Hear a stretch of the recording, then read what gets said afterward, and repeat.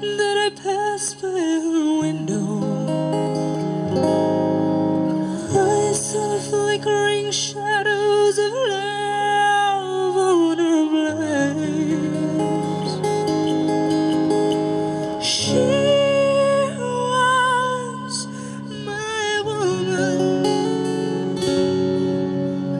As she deceived me,